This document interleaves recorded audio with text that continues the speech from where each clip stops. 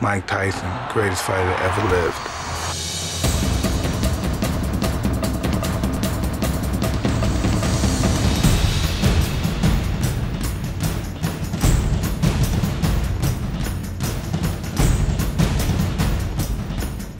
Greatest country in the world, man. This is